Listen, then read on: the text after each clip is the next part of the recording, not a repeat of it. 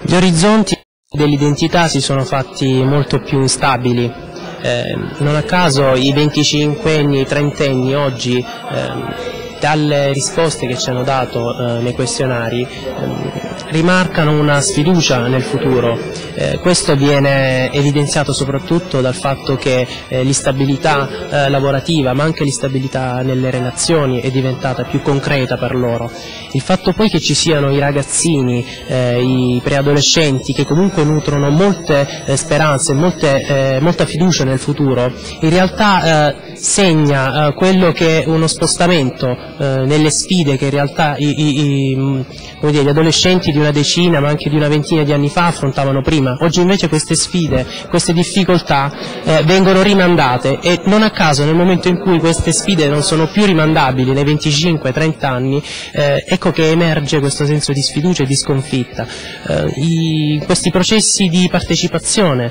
a, alle politiche giovanili, nella legalità e nella sicurezza, eh, hanno come compito quello di dare eh, maggiori strumenti queste, alle giovani generazioni, ai preadolescenti, agli adolescenti, eh, per affrontare un futuro che oggi ehm, viene definito eh, dire, instabile, flessibile, insicuro, liquido per usare una terminologia del sociologo eh, Bauman. Quindi, eh, il, dire, uno degli obiettivi del progetto è proprio questo, garantire a queste giovani generazioni e anche ai 25-30 anni eh, degli strumenti per poter eh, di nuovo recuperare un po' di fiducia nel futuro e diventare loro stessi i protagonisti della costruzione della loro identità in un certo qual modo in un credere in se stessi e in un conoscere meglio se stessi. Certo, certo, abbiamo rilevato anche questo, una difficoltà anche a leggere le, le proprie emozioni e le emozioni altrui, è una, anche un, dire, un, obiettivo di alfabetizzazione emotiva, se la vogliamo chiamare così,